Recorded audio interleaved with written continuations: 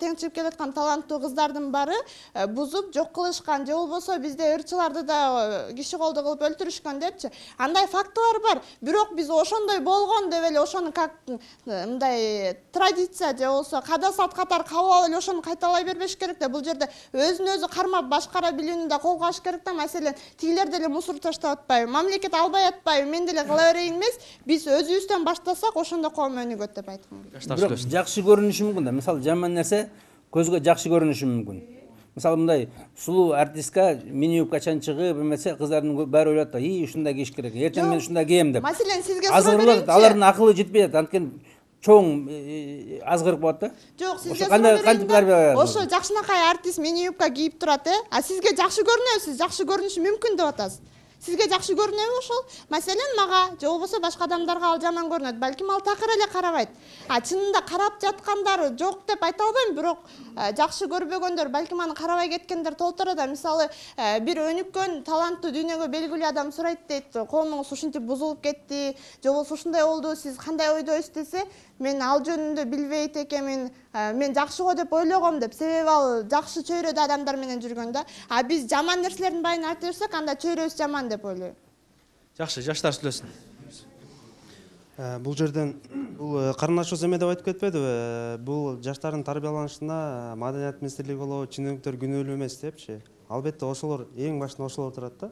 Ошол эле маданият министрлиги мен бул жерде өкүлчүлүк жокмун бирок э, азыр эле ктрди карап көрөлү ктр бул кыргыздын өзүнүн идеологиясын биз э, элге жайылтып атабыз туурабы? Ошол эле мtvни карап көрөлү алар өзүнүн идеологиясын жайылтып атат. Ошол эле тнт жана башкалар ала тв ошолор ар ким өзүнүн идеологиясын жайылтырып бизге ачыктан ачык мындайынан мындайына чейин көрүп атат да. А эмнеге ошол э, бийлик тарабынан ошону такташып а могу жарайт экен могу жакшы пайдасы бар экен могу жарабайт экен деп ошону тийишпайт да. Ошондо адеп оңолот деле. Ошондо ажап болгонот жакшы дагы анда арка жака өтөлү кел.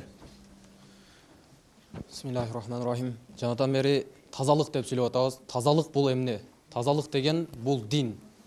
Тазаланууда биз мисал үчүн пайгамбар саллаллаху алейхи өзүнүн сахабасына анас деген сахабасына айткан эй анас сен жатарыңда жана эртең менен турганыңда төшөккө жатарыңда сен жүрөгүңдү тазалагын деген. Жүрөгүңдү тазаласаң менин сүннөтүмдү аткарган болосуң эгерде менин сүннөтүмдү аткарсаң ал мени сүйгөнүң мени сүйсөң сен мени менен бейиште бирге болосуң деген. Биз тазалыкка бүткүл нерсени айттык кандай кылганда тазалыкка кандай кылганда адеп акылыкка барабыз деп. Эң негизгиси эртең менен биз баардык эле адамдар үйдөн чыкканда т- күзгүгө жок дегенде он мүнөт көрүнүп өзүңдүн чийки денеңди башка бир чийки дене көргөндө уят болбош үчүн тазалыктарыңды өзүң тартиптейсиң а эмне үчүн биз өзүбүздүн туулуп өскөн мекенибиздин тазалыгын сактабайбыз тазалык дин демекчи мисал үчүн бир ай орозо тутабыз орозодон кийин орозодон кийин отуз күн орозодон кийин орозо айт намазында карасаңыздар сексен миң токсон миң жүз миң деген адамдар биздин эски площадька чыгып намаз окуйттар ошолор кеткенден кийин карап көрүңүздөр артында бир бутулка калдыбы ошол эле учурда жаңы жыл дагы башка деген ден валентин деген башка май- майрамдар болуп атат он миң жыйырма миң адамдар. Алардан кеткен кеткенден кийин ал жердеги тазалыкты карап көрүңүздөр ар бир адам өзүнүн жүрөгүнү тазаласа буюрса тазалык болот деп ойлойм жаштар сүйлөсүн жакшы ой өзбек ажыга бир чети макулмун мисалы айтып койт эмеспи жакшы менен жаман дайыма бир жүрөт деп. Биз жаман жагына карабай эле бир жакшы жагына карашыбыз керек. Мисалы жума намазы окусаңыз жалаң жаштар. Улуу улуулар аз да мисалы бүт келечекте биздин жаштар ушу дагы беш жыйырма жылдан кийин аябай жакшы болот деп мен ойлойм жана биздин ошо азыркы тарбиябызга аябай массалык маалымат кажеттар чоң ролду ойноп коет ойноп атат деп ойлойм да. Мисалы үйдө азыр ата энең менен бир телевизор көрө албайсың нормально жалаң ошо жалаңачтар мисалы өзүңдөр жакшы билсеңиздер керек токсон беш токсон алтынчы жылдары базарга чыкканда жакшы чыккан базарга дагы даже бара албайсың ата энең менен баягы кыздардын бүт ички кийимдери илинүү жана аз байкабадым деңиз баягы жала- жалаңач кыздын сүрөтүнчү мисалы чүй советский көрсөңүз чоң бир кыздын сүрөтүн илип койгон ошону кантип байк- байкоого мүмкүн эмес жаштар сүйлөсүн жакшы? Ассалому алейкум саламатсыздарбы мен өзбек ажы сизди колдойм ушул эмени көтөрүп чыкканыңызга көтөрүп чыкканыңыз үчүн жаштар үчүн. Эң биринчиден биз чоңдорду күнөөлөбөсөк болот. Анткени чоңдор күнөөлүү деле эмес эң биринчиден. Эгерде ар бир адам өзү адептүү болом десе таза болом десе өзүнө суроо берсин да. Өзүнө суроо берсин. Мисалы бир жаманды көрдүбү а значит мен буну жасабашым керек бул ишиничи бирок бир жакшыны көрдүбү мисалы а значит мен өзбек ажынын ушундай жолунда жолсом мен жакшы болом. Бул арак ичип атканын мен биринчи жолсом значит мен жаман болот экенмин значит өзүнө өзү суроо бериш керек да ар күнүчү мен бүгүн эмне иш кылдым? Кандай эмени карадым? Кандай адамдын эме алдым депчи. Дин айтат да аль минал иман дейт. Тазалык дейт имандан дейт да. Тазалык болсо иман болот. Жаштарыбызда иман болгондуктан бүт баракта өбүшүп кечинде парктарда жатып жүрүшөт да. Эң биринчи менин оюм жыйынтыгы ар бириң өзүңө суроо бер жана тазалыкты сактасаң жана ата үй эң биринчи чоңдор эмес эң биринчи ата ата энеден мисалы ата эне кээ бир балдар бар да үйгө эме кылып бардыбы бирдеме кылып түндө барса азырында ата эне бар экен да айтат мен да жашым балам.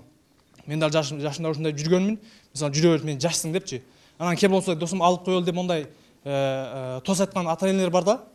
Эң биринчи ата эне жана жаштар акылдуу болсо өзүнө өзү суроо берсин да ошол менен оюм жыйынтык ошондой. Жаштар сүйлөсүн негизи көчөдө бул бир гана жаштар үчүн эмес бир гана чоңдор үчүн эмес бул жалпы адамзатка тиешелүү нерсе. Эгерде жаштарды күнөөлөп жаштарды күнөөлөсөк анда чоңдорубуз дагы күнөөлүү болуп калат да ошон үчүн эки жакта тең күнөө бар.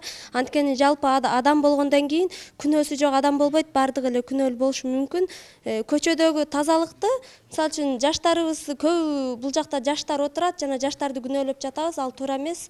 Жаштардын өткөндө эле таптаза жаштар деле таптаза деп айтууга мүмкүн эмес көчөдө деген. Мисалы үчүн чоңдорубуз деле чоң адамдар деле улуу муундагы адамдар деле машина айдап кетип баратып өзүнүн иштеп аткан тамекисин ыргытып жиберет. Же эме өткөндө эле өзүмдүн башыман өткөн болчу биз апам экөөбүз базардан келе жатканда чоң улуу муундагы эле апа экен кыргыз кыргыз улутундагы апа экен. Ал орун бербейсиңби сен отуруп алып уктабашың керек деп бир жаш адамга айтып атат. Анан ал өзү оозунан арак сасып турат. Анан ошо оозунан арак сасып турган улуу муундагы апаны биз кантип сыйлайбыз ошондон кантип тарбия алабыз. Ошондой суроо туулуп жатат да бул жакта. Жаштар сүйлөсүн. Арбаңыздар. Эми бул биздердин жаштарды эмес жалпы эле адамдын жүрүш турушуна негизи ыйман дин деген маселе өтө таасир берсе керек. Бул жердегилер деле каршы болбосо керек. Негизи айтып атышат да жүрүм турумду оңдош үчүн искусство маданият таасир берет деп. Бирок ошол маданият менен искусствону дагы ылгай турган нерсе бар да. Мына ошол ылгай турган нерсе дин болуп эсептелет да. Мисалы үчүн стриптиз дагы маданият эротикалык адабият дагы адабият. Анда биз баарыбыз ошол жака мындай кетип калалы да ачык элечи.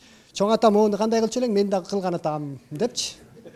Же болбосо дагы башкачы ошон үчүн ылгаш керек да. Мисалы үчүн түркмөнстанда токсон экинчи жылдан бери балет өнөрүнө тыюу салып койду эле түркмөнстан жапайы болуп кеткен жок анданчы өсүп атат өсүп эле атат кадимкидей элечи балким бизден абийири жагынан өйдөрөөк тураттыр эми ал ар бир кишинин өзүнүн деңгээли анан могу жерден турган балдар деле мисалы үчүн намысына тийсе дагы кечирип коеюн бирок эме да мойнуңарга алсаңар ушу сөгүнбөй сүйлөгөн балдар барбы мисалы үчүн эми он кишинин бирөөсү гана сөгүнбөй сүйлөйт да калганы эки сөздүн бирөөсү төрт сөздүн үчөөсү сөгүнгөн сөз. Өмүр бою ушу менен өтүп кетет да. Анан төз сөз э төз сөз болуп калганда анан анын маанисин өзү деле түшүнбөйт да. Чоң атасы менен да чоң энеси менен да небереси менен деле ушинтип сүйлөшө беришет да. Мына жүрүм турум деген ушул да ушунун баарын ылгап турган бизде дин да. Баягы жаман иш жакшы ишти кыла албасаң жаман ишти кылбай кой дейт да.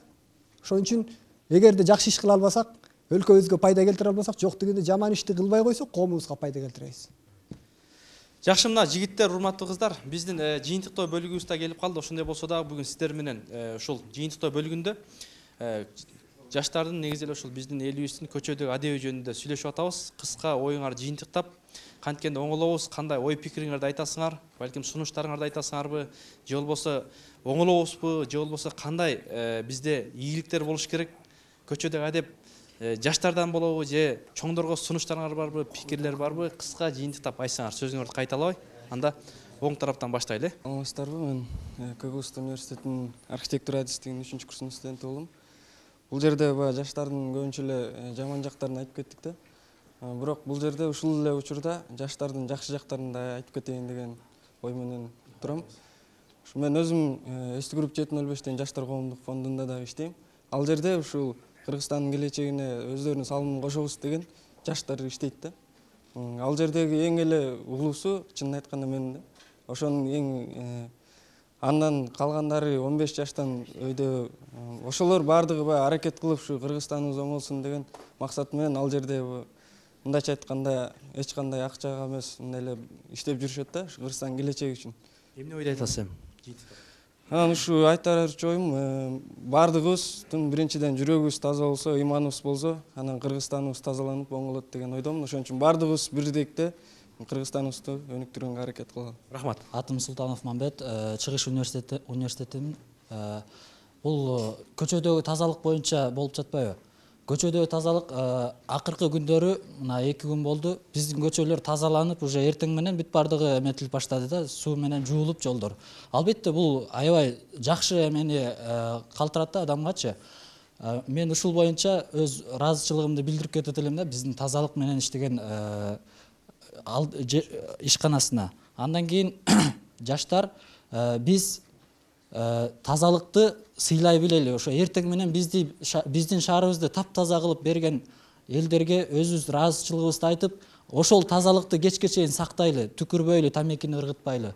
Жана кыргызстандыктар баарыңыздар өз үй бүлөңүздөрдөгү тазалыктарга кудайдын алдында жооп бересиздер. Андан кийин дагы жогоруда айтылып кетти исхак разаков айткан экен сен таза болсоң мен таза болсом коом таза болот депчи. Буга дагы кошумча дагы үчүнчү эмеси бар да кыргыз тилинде үчүнчү жак бар го. Сен таза болсоң мен таза болсом сен таза болсоң аны дагы тазалайлы ошондо биздин кыргызстан тазаланат. Жана акыркы сөзүм кыргыздар баарыңыздарга кайрылуу кыргызча тактык деп беш мүнөт эрте баардык жерге барсак биз ошондо баардык жетишкендиктерге жетишебиз чоң рахмат атым топчой кыргыз көөт университетинен келдим мен айтайын дегеним бул жерде биз телевидениени күнөөлөп атабыз западный телевидениеси деп. Эми эң жаман кишиден да бир жакшы таасир алса болот да ошондой болбойн деген. Ошолордун жаман жагын көрүп атканда биз жаман жагын албай ошо сулуу кооз шаарларын көрсөтүп атат таза шаарларын көрсөтүп атат. Биз да ошолордун шаарындай кылып сактайлы шаарыбызды жыйынтык сөзүмдү айткым келип турат. Бул жерде жогоруда айтып кеткен жигиттин сөзүнө кошулгум келет. Баягы баардык нерсенин жакшы нерсесин алыш керек депчи. Мындай сөз бар эмеспи жана ачуу лимондон дагы таттуу лимонад жасаса болот. Же болбосо сага досторуң жылан белекке берсе ошонун кымбат баалуу терисин сыйрып ал да ичиндеги керексиз нерселердин бүт баарын ыргытып сал дейт да. Ошондуктан бизге таасир эткен жана сортировкаланбай эле келип атпайбы маалымат информациялардын баарычы ошону өзүбүздүн жеке фильтрибизден өткөрүп өзүбүздүн жан дүйнөбүзгө пайдалана билели жана ааламды өзгөртөм десең өзүңдөн башта дейт. Ар кимибиз бийликти дагы ханыбызды дагы төбөлдөрүбүздү дагы эч кимди шылтабай ар кимибиз өзүбүздөн баштайлы демекчимин өзүбүздөн э рахмат. Саламатсыздарбы баарыңыздарбы өзбек ажынын айткан сөзүнө кошулам биздин балдардын эң биринчи өкүнгөнү кыздардын көчөдө жүргөн адаби. Кыздардын адеби өтө начар болуп атат. Биз балдар тамеки чексе тамеки чегишет арак ичсе арак ичишет. Ошондо кыздардын адебин оңдосо дейм рахмат. Биз айтып кеттик го ыйман ыйман деп баары эле ыйман деп айтып атат десер адамда үч ашказан бар экен да? Бирөөсү бул иштеги ашказанда бул тамак менен тойгозот жана экинчиси бул мээ да? Мээге бул дагы эмне информация менен азыркы угуп аткан нерсе башка илим баары мээге келет да? А бирок адамдар үчүнчү ашказанды унутуп калган да?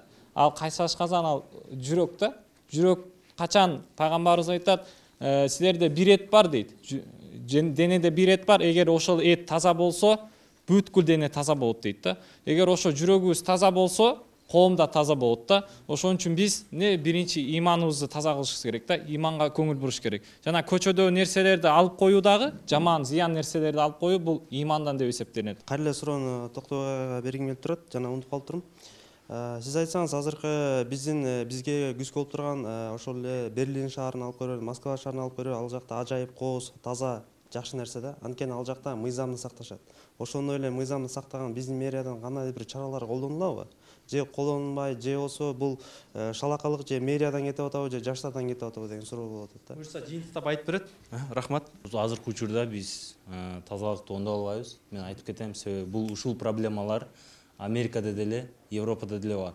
Азыркы убакыттан биз сми тарабына сунуш кылгым келет.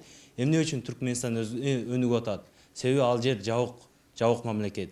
Биз деле кыргызстанга эмне үчүн баягы улуттук каналдар чыгып аткан улуттук каналдар бизге платный болуп келип атат акча төлөп ала тв акча төлөп атат. Биз кыргызстандын алтымыш проценти карапайым эл болот. Ошол комуз тв ала тв баягы кыргызча каналдарды бекер кылып жана биздин элибиз көрө тургандай кылып анан жана баягы mtv деген каналдарды жаап салсак деген ойду айтып кетким келет. Рахмат мен өзүм деген оюмду айтайын дегем мисалы деген э, сиздерге тазалыкты караш үчүн сиздерге финансовый жактан акча бөлүнүп берет да.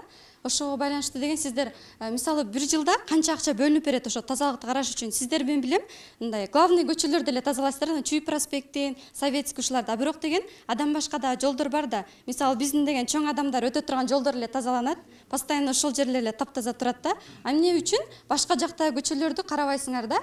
Андагы мусорлор деген мусорный бактар өз убагында мусорлордон алып кетилбейт да. Буга дагы жаштар күнөөлүүбү. Мен адеп ахлак жөнүндө айткым келип атат. Э, бул э, адамдардагы көйгөйлөр деген проблемалар маселелердин баардыгы деген айлана чөйрөдөгү адамдардан эмес. Бул ал өзүбүздө болуп эсептелинет. Э, бул аларды ошондуктан өзгөртөбүз десек алар өзүбүздөн башташ- башташыбыз керек. Ошондуктан кыздарды дагы жаштарды дагы балдарды дагы күнөөлөй бербей баардык адамзатында жүрөгүндө ыйман болуп адеп ахлактуу болсок деп айткым келет урматтуу коноктор ушул сиздерге берилип аткан суроолорго аз кыскараак жооп берет деген ойдобуз саламатсыздарбы биринчиден азырча биздин талкуубуз абдан кызыктуу болуп жатат деп айтсак болот да эгерде мисалы үчүн кыргыз элинде жакшы сөз бар а эшигин көрүп төрүнөт деп мисалга алганда кыргызстанга келген чет эл чет элден келген жарандар уже кыргызстандын тазалыгын уже биздин айлана чөй- чөйрөбүздөн билишет да эгерде биз өзүбүздүн тазалыгыбызды ошол өзүбүздүн эле колдонуп жаткан нерселерди уже көчөгө ырытпай ошону өзүнүн са- мисалы үчүн мусор салгычка салсак ошондо биз тазалыгыбызды сактаган болобуз а эгерде биз мисалы үчүн ар бир сигарет чеккен бала өзүнүн чегип бүткөн ошо тамекисинин калдыгын ошо атайын ошо салгычка салса ошондо кыргызстанга бир пайдасын келтирет. Деп ойлойм да адамга адам болуу күн сайын кыйын деп улуу жазуучубуз чыңгыз айтматов айтпады беле ошол сыяктуу эле биз алтындай болгон убактыбызды mtv же тнт ушундай каналдарга жаман нерселерге кетирбей убакыт учкан куш дейт кайра убакыт келбейт ушул убактыбызды жакшы нерселерге пайдаланып ыйман менен өзүбүздү жакшы өзүбүздү тарбиялап тазаланышыбыз керек. Рахмат. Адамга адамга берилген акыл эсти ошол өзүбүзгө өзүбүзгө ар бирибизге энчиленип берген акыл эсибиз бар. Адамдан ошол айтып аткан айбан мисал келтирип кеткен суудан сууду жаман десең жаман болот дейт ошол эми ошол адамга бизге акылдуу бозонун биздин айырмалануу акылыбыз бар болгондон кийин ар бирибиз өзүбүздүн адебибизди ыйманыбызды сактасак ошол акыл эсибиз менен болсок анда рахмат. Анан акыркы микрофон. Жыйынтыктоочу сөзүмдү айтып кетсем. Биз деген э, бири бирибизди жамандабай э, табигатка кандай мамиле кылсаң ал да сага ошондой мамиле кылат дегендей эле жаштарга айтып кетерим бир жеңден кол бир жаккадан баш чыгарып баарыбыз ошол тазалыкты э, дагы бир айтып кетсем сен таза болсоң мен таза болсом бул эме. Айтылды рахмат э. Э, жыйынтыктап кетсем э, негизи эле ошол ар бир нерсенин эки тарабы болот дейт жаман жакшы деген сыяктуучу ошол ар бир адамда э, жаманы да болот жакшысы да болот да. Эң негизгиси адамдар биз ошол э, бир адамды көрүп жаман жагын анан укуп чукубай андан көрө биз ошол адамдын э, жакшы жагын издеп жакшы жагын э, жакшы тараптарга э, жол көрсөтөлү демекчимин да. Эң негизгиси адам ар бир адам ошол жаман сапатка дагы ээ болот жакшы сапатка да ээ болот да эң негизгиси ошол менин айтарым ар бир адамдын жүрөгүндө ыйман болсо анда ошондо э, жакшы сапатка да ээ болот жана э, жакшы э, жетишкендиктерге да жетишет деп ойлойм. Мына рахмат анда урматтуу токтойбек мырза жаштардын оюн уктуңуз. Кандай оюңуз бар? Он секундтан кыска нуска жооп берсеңиз азыркы биздин кыздарыбыз да бир топ суроолорду айтып өттү. Э, канча акча бөлүнөт мусорлар чыкпай атат. Анда кимгер? Эми бул жанареки центральный көчө тазаланып бөлөк көчө тазаланбайт деген бул туура эмес негизичи ошол деген бүт баарына бирдей мамиле кылынат шаардачы. Анан бул шаарда бизде миллион миллионный город дегенмен дагы бизде ички миграция кыргызстанда көп болот да ошонун негизинде таштанды күндөн күнгө айдан айга көбөйүп турат да анан мына биякта азыр өйдө төмөн сөздөр болду. Талаш тартыштан чындык жарылат дейт. Баарыңар эле бир чоңдорду күнөөлөп бир молдолорду күнөөлөп же бир тазалыкты күнөөлөгөндөн мурун адам акылдуу адам өзүнүн бирөөнү өзгөртпөйт дейт. Коомго болгон көз карашын өзгөртөт дейт да. Ар ким өзү көз карашты өзгөртүп анан ошого бир жыйынтык чыгарышыңар керек да. Бирөөнү күнөөлөгөндөн мурунчу бөлүнгөн финансовый жактан акчалар каяка кетет да? Мисалы деген бизде айтып кетти да мусорлорду мусорный бакка таштайык деп. Бирок деген көп эле жерлерде мусорный бактар коюлган эмес да адамдар отура турган кээ бир эле жерлер да бар. Ал жерде да саналуу эле да. Анан кийин дагы мусорлорду мен главный тазаланбайт деген жокмун тазаланып атат бирок деген мындай жакшы деңгээлде эмес да эме главный көчөлөр тазаланат а башка көчөлөр тазаланбайт да.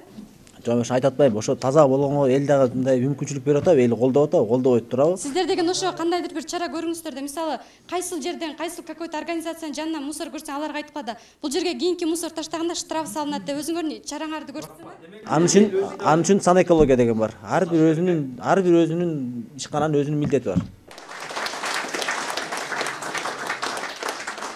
Биякта бир чоң жигит айтып кетти да мисалы биз оңолбойбуз дейт да мисалычы оңдой албайбыз болбойт ал твде телевидениени оңдогонго болбойт депчи ар бир адамдын өзүнүн каалоосу мисалычы оңдойм деген киши бүт нерсени өңдөсө болот ошон үчүн биз жаштар мындайча айтканда баягы оптималдуу жасайлы өзүбүздүн алдыга максаттарды коелу оңолобуз өнүгөбүз өсөбүз жана мындан да жакшы болобуз депчи а өзүбүз отура берсек анда отура беребиз да чоң аракет кылыш керек да аракет кылалы мен э, жаштарга айта берем ушу адебибизди оңдойлу ар кимди ээрчи бербейли чынында э, батыштын маданияты өзүнө биздин маданиятыбыз өзүбүзгө алардын дини башка салты башка менталитети башка оюндары да башка биздики башка ошон үчүн биз э, башка элбиз ошо биз мусулман элбиз ошо биздин тартибибиз башка болуш керек адебибиз башкача болуш керек. Жана көчөдө туруп алып өбүшкөн бул эң бир жеткен маданиятсыздык денени жылаңачтап алып көргөзгөн ар кимди кызыктырган бул чоң маданиятсыз деп эсептейбиз ошон үчүн ошо өзүбүздүн маданиятыбызды үйрөнүп өзүбүздүн маданиятыбыз менен жүрөйлү. Чоң рахмат.